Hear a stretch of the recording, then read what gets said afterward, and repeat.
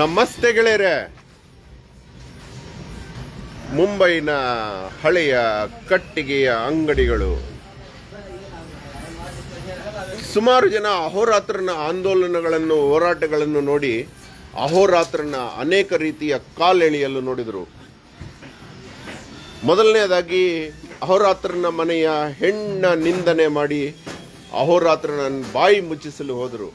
ಅವ್ರ ಕೈಲಾಗಲಿಲ್ಲ. ಅಹೋರಾತ್ರನ ತಪ್ಪುಗಳೇನಿದೆ ಅಂತ ಹುಡುಕಲು ಹೋದರು.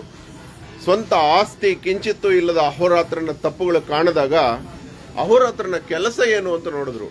ಸಾಲವಿಲ್ಲದ ಅಹೋರಾತ್ರನ ಬದುಕು ನೋಡಿದಾಗ ತಪ್ಪು ಕಾಣದ ಅವರು ಅಹೋರಾತ್ರ ಒಬ್ಬ ಕಲಾವಿದನಾಗಿ ಕೆತ್ತುವ ಯಂತ್ರದ ಉದ್ದೇಶಕ್ಕೆ ಕೈ ಹಾಕಿದ್ರು. ಅಹೋರಾತ್ರ ಹಲೋ ಸರ್ ಏಕ್ ಮಿನಿಟ್ ಅದು ಏಕ್ ಮಿನಿಟ್ ಅಹೋರಾತ್ರ ಒಂದು ದೇಶಭಕ್ತಿ ಜೊತೆಗೆ ದೈವ ಭಕ್ತಿಯನ್ನು ಹೊಂದಿದ್ದಾನೆ. ಅನೇಕ ದೇಗುಲಗಳಿಗೆ ಯಂತ್ರಗಳನ್ನು ಮಾಡಿಕೊಟ್ಟಿದ್ದಾನೆ. ಪುರಾತನ ವಿಶ್ವಕರ್ಮರ ಆಜ್ಞೆಯಂತೆ ಮೃತ ವೃಕ್ಷಗಳನ್ನು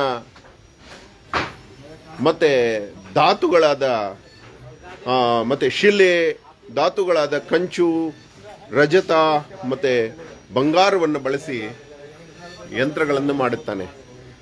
ಹಾಗೆ ದಾರು ಅಂದರೆ ಕಟ್ಟಿಗೆಯನ್ನು ಬಳಸಿ ಮಾಡುವಲ್ಲಿ ಅಹೋರಾತ್ರ, ನಾ ತಪ್ಪೇ ಸಿಕ್ಕಿತೇನೋ ಅಂತ ಹೇಳಿ ಆ ಚಟನಟನ ಅಭಿಮಾನಿಗಳು ಅಹೋರಾತ್ರನನ್ನು ವೃಕ್ಷ ರಕ್ಷೆ ಮಾಡುತ್ತಾನೆ, ಆದರೆ ವೃಕ್ಷಗಳನ್ನು ಕೊಂದು ಯಂತ್ರ ಮಾಡುತ್ತಾನೆ ಅಂತ ಪ್ರಚಾರ ಮಾಡಿದ್ರು.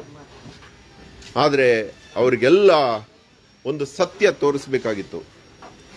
ಅಹೋರಾತ್ರನಿಗೆ ಅದೃಷ್ಟವೋ ಎಂಬಂತೆ ಭಾರತದ ಒಂದು ದೊಡ್ಡ ದೇಗುಲದ ಶಿವಲಿಂಗದ, ಜ್ಯೋತಿರ್ಲಿಂಗ ಸಮ್ಮಾನದ ಶಿವಲಿಂಗದ ಛಾವಣಿ, ಅಂದರೆ ಮೇಲ್ಭಾಗದಲ್ಲಿ ಮಹಾಮೃತ್ಯುಂಜಯ ಯಂತ್ರ ಮಾಡುವ ಅದೃಷ್ಟ ಅವಧಿಗೆ ಬಂತು. ಏಳು ಅಡಿಯಿಂದ ಏಳು ಅಡಿ ಅಗಲ ಇರುವಂಥ ಯಂತ್ರಕ್ಕೆ ಇಂದು ನಾವು ಆ ಕಟ್ಟಿಗೆಯನ್ನು ಹುಡುಕಲು ಬಂದ್ವಿ. ನಿಮಗೆ ತೋರಿಸ್ತಾ ಇದ್ದೀನಿ. ನೋಡಿ, ಈ ಈ ಸ್ತಂಭ ಏಕ್ ಮಿನಿಟ್. ಈ ಸ್ತಂಭ ನೋಡಿ. ನೋಡಿ.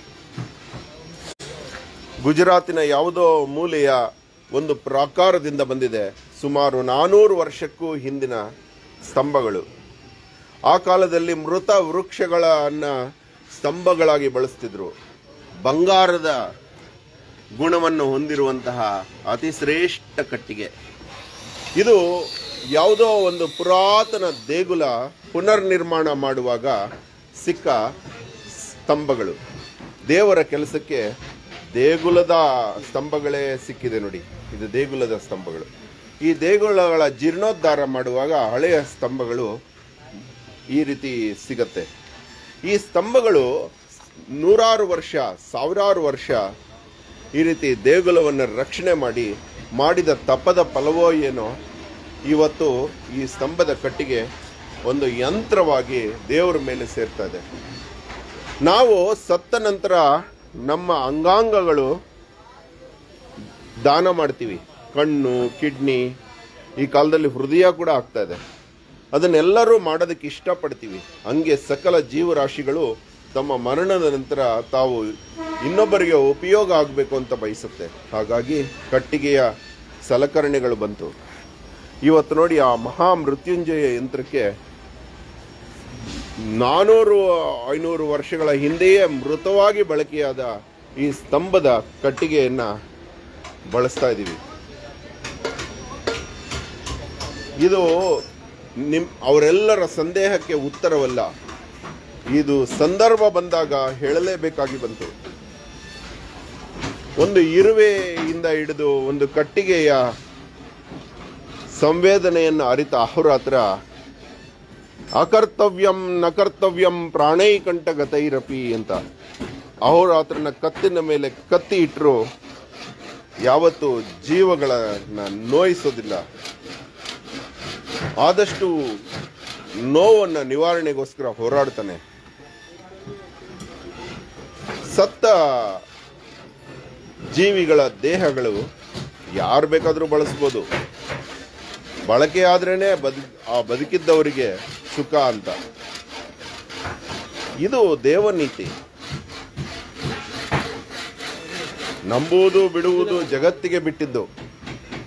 ನೋಡಿ.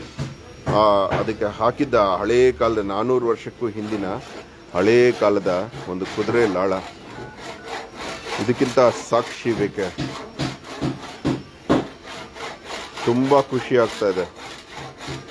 ಹೀಗೆ ಹುಡುಕಿ ಹುಡುಕಿ ಹುಡುಕಿ ಹುಡುಕಿ ನವನಿರ್ಮಾಣಕ್ಕೆ ಹೋಗುತ್ತಿರುವ ಹಳೆಬೇರುಗಳು ಇವು. ಹೊಸ ಚಿಗುರು ಹಳೆಬೇರಿನಂತೆ ಈ ಯಂತ್ರ ಸಿದ್ಧವಾದಾಗ ನಿಮಗೆಲ್ಲ ತೋರಿಸ್ತಾನೆ ಅಹೋರಾತ್ರ ತುಂಬಾ ತುಂಬ ಧನ್ಯವಾದ. ಅಹೋರಾತ್ರ.